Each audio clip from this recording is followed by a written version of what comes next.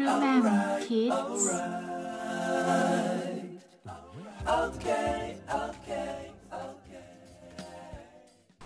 สวัสดีค่ะครูแหม่มโชติลักษ์ค่ะนักกระตุ้นพัฒนาการเด็กนะคะ ประโยคเนาะมันเป็นเหมือนคำเชื่อมใช่ไหมเหมือนเราแบบ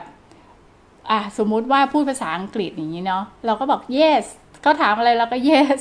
เอาไหม no อะไรอย่างเงี้ยแต่เราไม่ได้สามารถอธิบายเป็นประโยคได้นะคะ ในกรณีที่แบบว่า พูดภาษาเหล่านั้นไม่เก่งอะไรอย่างเงี้ยนะคะอ่าเขาจะไปแล้วทำไงบายบายคือจบแล้วสามประโยคฉันอยู่ร่วมกับชาวต่างชาติได้อะไรอย่างเงี้ยนะคะ แต่ในความเป็นจริงนะคะ ประโยคต่างๆ เขาจะมีคำเชื่อมด้วยใช่ไหมคะ มันไม่ได้ง่ายสำหรับเด็กนะ เพราะว่าเขาเพิ่งพูด เขาเพิ่งหัดพูด ถ้าเราไปเรียนภาษาใหม่ ๆ แล้วเราจะรู้ว่าการหัดพูดภาษาใหม่ ๆ มันเป็นเรื่องยาก เพราะว่าต้องจำ อาศัยเหตุการณ์จริง มีการทำซ้ำบ่อย ถูกต้องไหมคะ อย่างอย่างเราเนี่ยถ้าของของผู้แม่มอะถ้าไปต่างประเทศไปประเทศญี่ปุ่นเนี่ยก็จะพูดภาษาญี่ปุ่นได้ แต่ว่าถ้าเขาพูดมาเยอะๆรัว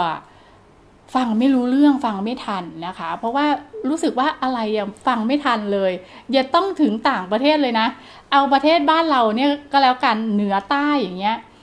มีบางคำที่เราไม่ชินใช่ไหม เราไม่ชินเราไม่เข้าใจแบบนี้ก็มีนะคะ ภาษาใต้บางทีเขาก็จะคุยกันเร็วนะคะ เราก็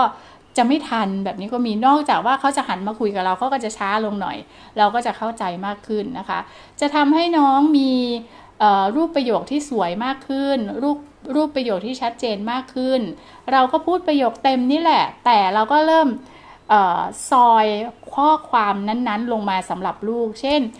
ไปลูกเราจะไปเซเว่นกันนะ วันนี้เราจะต้องซื้อของ เราก็อาจจะน้องก็อาจจะได้แค่คำว่าไปเซเว่นไปเซเว่นนะคะอะแต่ว่า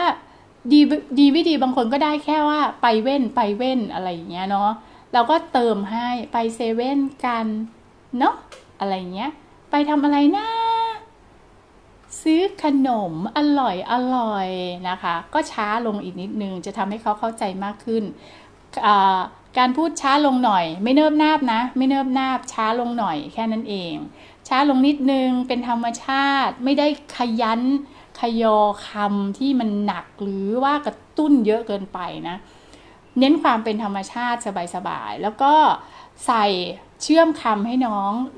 คือน้องได้สองคำแล้วแหละ แต่ว่าประโยคยังไม่สวยก็ใส่คำเชื่อมให้แค่นั้นเองนะคะ แล้วก็การเล่านิทานก็เป็นเรื่องที่ดีนะคะ จะมีจะมีมีการเรียนรู้รูปแบบของคำการร้องเพลงนะคะ การคุยกันการเล่นสมมุติเหล่านี้ได้หมดเลยค่ะ อย่าลืมว่าต้องเป็นสิ่งที่เด็กสนใจนะคะ